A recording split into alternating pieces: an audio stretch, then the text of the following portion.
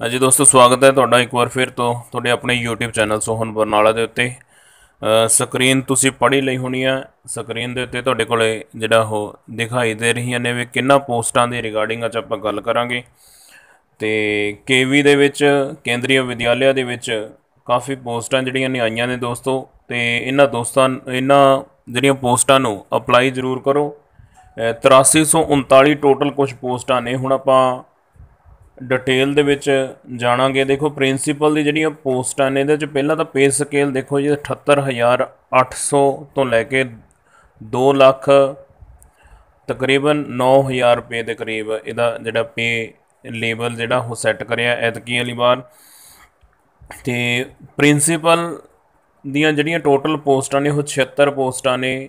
General 41 OBC 19 SC 11 ST 5 ਉਸ ਤੋਂ ਬਾਅਦ ਤੁਹਾਡੇ ਜਿਹੜੇ ਸੱਜੇ ਪਾਸੇ ਪੋਸਟਾਂ ਤਿੰਨ ਦਿਖਾਈ ਦੇ ਰਹੀਆਂ ਨੇ OH VH ਤੇ HH ਇਹ ਇਹ ਮੇਰੇ ਵੀਰ ਜਿਹੜੇ ਹੈਂਡੀਕੈਪਟ ਨੇ ਉਹਨਾਂ ਦੇ ਲਈ ਇਹ ਪੋਸਟਾਂ ਨੇ ਤੇ ਉਹ ਵੀ ਮੇਰੇ ਵੀਰ ਉਹ ਅਪਲਾਈ ਕਰ ਸਕਦੇ ਨੇ ਇਹਨਾਂ ਪੋਸਟਾਂ ਦੇ ਲਈ। ਉਸ ਤੋਂ ਇਲਾਵਾ ਵਾਈਸ ਪ੍ਰਿੰਸੀਪਲ ਦੀਆਂ ਪੋਸਟਾਂ ਨੇ, ਇਹਦੇ ਵਿੱਚ ਪੇ ਬੈਂਡ ਦੇਖੋ ਜੀ 56100 ਤੋਂ ਲੈ ਕੇ 177500 ਤੱਕ ਹੈ।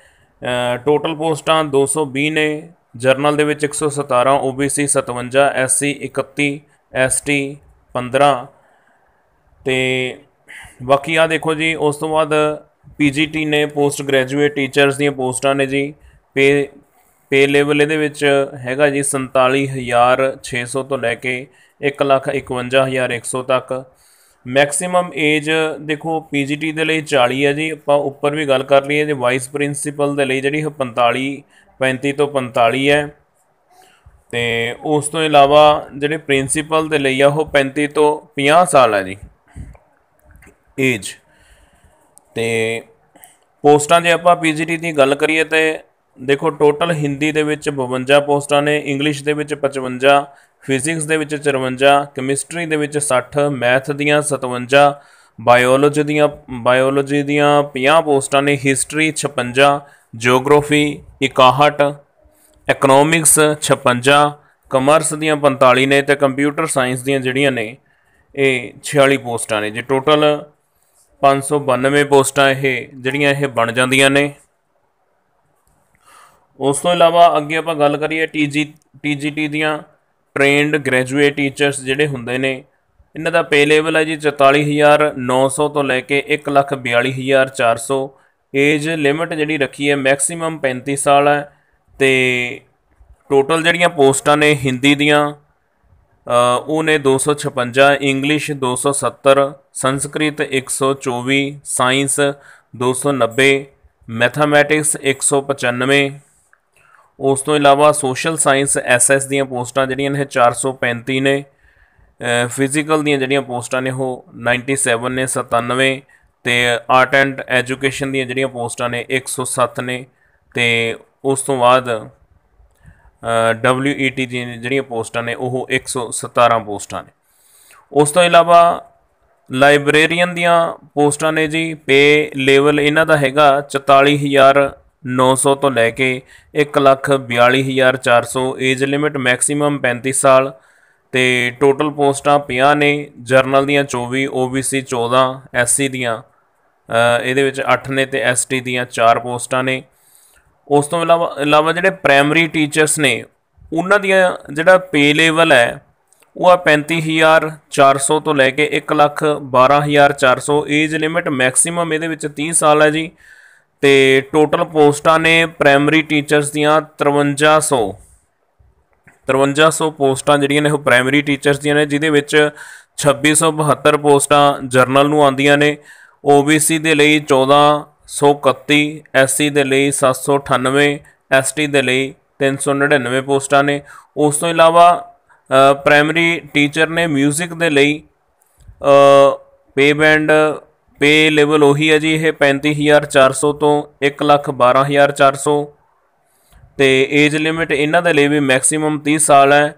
ਤੇ ਟੋਟਲ ਪੋਸਟਾਂ ਨੇ 201 ਜਰਨਲ ਦੀਆਂ 101 OBC 54 SC 31 ਤੇ ST ਜਿਹੜਾ ਆ, ਉਹ 15 ਪੋਸਟਾਂ ਨੇ। ਇਹਨਾਂ ਪੋਸਟਾਂ ਦੇ ਲਈ ਤੁਸੀਂ ਅਪਲਾਈ ਕਰ ਸਕਦੇ ਹੋ, ਕਾਫੀ ਅੱਛ- ਚੰਗੀਆਂ ਪੋਸਟਾਂ ਨੇ। ਤੇ ਇਹਨਾਂ ਦੇ ਲਈ ਟੈਸਟ ਹੋਊਗਾ। ਟੈਸਟ ਦੇ ਸਿਲੇਬਸ ਦੇ ਰਿਗਾਰਡਿੰਗ ਵੀ ਤੇ ਬਾਕੀ ਹੋਰ ਜਾਣਕਾਰੀ ਦੇ ਲਈ ਵੀ ਤੁਸੀਂ ਇਹਨਾਂ ਦੀ ਵੈਬਸਾਈਟ ਵੀ ਜਿਹੜੀ ਉਹ ਚੈੱਕ ਕਰ ਸਕਦੇ ਹੋ ਤੇ ਬਾਕੀ ਆਪਾਂ ਆਪਣੀ YouTube ਚੈਨਲ ਦੇ ਉੱਤੇ ਵੀ ਕੋਸ਼ਿਸ਼ ਕਰਾਂਗੇ ਸਿਲੇਬਸ ਦੇ ਰਿਗਾਰਡਿੰਗ ਵੀ ਕਿਵੇਂ ਇਸ ਇਹਨਾਂ ਪੋਸਟਾਂ ਦੀ ਆਪਾਂ ਤਿਆਰੀ ਕਰਨੀ ਆ ਤੇ ਕਿਵੇਂ ਤੁਸੀਂ ਇਸ ਟੈਸਟ ਨੂੰ ਕਲੀਅਰ ਕਰ ਸਕਦੇ ਹੋ। ਉਹਦੇ ਰਿਗਾਰਡਿੰਗ ਵੀ ਆਪਾਂ ਆਪਣੇ ਚੈਨਲ ਦੇ ਉੱਤੇ ਗੱਲ ਕਰਾਂਗੇ ਤੇ ਬਾਕੀ ਜਿਹੜੀ ਵੀ ਅਪਡੇਸ਼ਨ ਇਹਨਾਂ ਪੋਸਟਾਂ ਦੇ ਰਿਗਾਰਡਿੰਗ ਆਂਦੀ ਹੈ ਤੇ ਉਹ ਤੁਹਾਡੇ ਨਾਲ ਜ਼ਰੂਰ ਆਪਾਂ ਸ਼ੇਅਰ ਕਰਾਂਗੇ। ਇਸ ਤੋਂ ਇਲਾਵਾ ਜਿਹੜੀਆਂ ਇਹ ਪੋਸਟਾਂ ਅਪਲਾਈ ਕਰਨੀਆਂ ਨੇ ਉਹਦੇ ਲਈ ਜਿਹੜੀ ਇਹਨਾਂ ਦੀ ਰਜਿਸਟ੍ਰੇਸ਼ਨ ਹੈ ਉਹ ਅ, ਕੇਂਦਰੀ ਕੇਵੀਐਸ ਦੀ ਜਿਹੜੀ ਸਾਈਟ ਹੈ ਉਹਨਾਂ ਦੀ ਸਾਈਟ ਦੇ ਉੱਤੋਂ ਓਪਨ ਹੋਊਗੀ 24/8 ਨੂੰ। ਤੁਸੀਂ ਰਜਿਸਟ੍ਰੇਸ਼ਨ ਜਿਹੜੀ ਉਹ ਸਟਾਰਟ ਹੋਊਗੀ ਉਦੋਂ ਤੁਸੀਂ ਅਪਲਾਈ ਕਰ ਸਕਦੇ ਹੋ ਤੇ ਲਾਸਟ ਡੇਟ ਜਿਹੜੀ ਇਹਦੀ ਹੋਊਗੀ ਉਹ ਹੋਊਗੀ 13 9 2018 ਦੀ ਤੇ ਠੀਕ ਆ ਜੀ, ਚੰਗੀਆਂ ਪੋਸਟਾਂ ਨੇ ਤੇ ਇਹਨਾਂ ਦੇ ਲਈ ਜਰੂਰ ਜਿਹੜਾ ਉਹ ਅਪਲਾਈ ਕਰੋ, ਪੇ ਸਕੇਲ ਬਹੁਤ ਵਧੀਆ। ਤੇ ਬਾਕੀ ਤੁਸੀਂ ਇਹਨਾਂ ਦੇ ਜਿਹੜੇ ਪਹਿਲੇ ਪੇਪਰ ਨੇ ਉਹ ਵੀ ਆਪਾਂ ਕੋਸ਼ਿਸ਼ ਕਰਾਂਗੇ। ਉਹਨਾਂ ਦਾ ਵੀ ਕੋਈ ਹੱਲ ਕਰਨ ਦੀ ਤੇ ਬਾਕੀ ਇਹਨਾਂ ਦੀ ਸਾਈਟ ਦੇ ਉੱਤੇ ਵੀ ਤੁਸੀਂ ਜਾ ਕੇ ਕਾਫੀ ਜ਼ਿਆਦਾ ਇਨਫੋਰਮੇਸ਼ਨ ਹੈ ਜਿਹੜੀਆਂ ਇਹਨਾਂ ਪੋਸਟਾਂ ਦੇ ਰਿਗਾਰਡਿੰਗ ਤੇ ਪੁਰਾਣੀਆਂ ਪੋਸਟਾਂ ਦੇ ਰਿਗਾਰਡਿੰਗ ਜਿਹੜੀ ਜਿਹੜੀਆਂ ਹਾਸਿਲ ਕਰ ਸਕਦੇ ਹੋ। ਤੇ ਇਹ ਸੀਗੀਆਂ ਕੇਵੀ ਦੇ ਵਿੱਚ ਪੋਸਟਾਂ ਜੀ, ਠੀਕ ਹੈ ਦੋਸਤੋ? ਤੇ ਜੇ ਤੁਹਾਨੂੰ ਚੰਗੀਆਂ ਲੱਗੀਆਂ ਤਾਂ ਆਪਣੇ ਦੋਸਤਾਂ ਮਿੱਤਰਾਂ ਦੇ ਨਾਲ, ਭੈਣ ਭਰਾਵਾਂ ਦੇ ਨਾਲ ਜਰੂਰ ਇਹ ਵੀਡੀਓ ਜਿਹੜੀ ਇਹ ਸ਼ੇਅਰ ਕਰਿਓ ਤਾਂ ਜੋ ਉਹਨਾਂ ਨੂੰ ਵੀ ਇਹ ਇਨਫੋਰਮੇਸ਼ਨ ਹੈ ਜਿਹੜੀ ਉਹ ਮਿਲ ਜਾਵੇ, ਤਾਂ ਜੋ ਉਹ ਵੀ ਇਹਨਾਂ ਪੋਸਟਾਂ ਨੂੰ ਅਪਲਾਈ ਕਰ ਸਕਣ ਤੇ ਹੋਰ ਵੀ ਕਈ ਤਰ੍ਹਾਂ ਦੀਆਂ ਵੀਡੀਓਜ਼ ਰਿਕਰੂਟਮੈਂਟ ਦੇ ਰਿਗਾਰਡਿੰਗ ਤੇ ਐਜੂਕੇਸ਼ਨਲ ਵੀਡੀਓਜ਼ ਆਪਾਂ ਇਸ ਚੈਨਲ ਦੇ ਉੱਤੇ ਜਿਹੜੀਆਂ ਤੁਹਾਡੇ ਨਾਲ ਸ਼ੇਅਰ ਕਰਦੇ ਹਾਂ ਤੇ ਆਪਣੇ ਚੈਨਲ ਨੂੰ ਸਬਸਕ੍ਰਾਈਬ ਕਰਿਓ। ਜੇ ਪ੍ਰੈਜ਼ੈਂਟ ਵੀਡੀਓ ਤੁਹਾਨੂੰ ਚੰਗੀ ਲੱਗੀ ਹੈ ਤਾਂ ਆਪਣੇ ਦੋਸਤਾਂ ਨਾਲ ਵੱਧ ਤੋਂ ਵੱਧ ਸ਼ੇਅਰ ਕਰਿਓ ਤੇ ਲਾਈਕ ਕਰਿਓ। ਜੇ ਕੋਈ ਸਵਾਲ ਹੋਵੇ ਤਾਂ ਜਰੂਰ ਕਮੈਂਟ ਦੇ ਵਿੱਚ ਪੁੱਛੋ। ਤਾਂ ਅਸੀਂ ਕੋਸ਼ਿਸ਼ ਕਰਾਂਗੇ ਉਹਨਾਂ ਸਵਾਲਾਂ ਦਾ ਜਵਾਬ ਦੇਣ ਦੀ।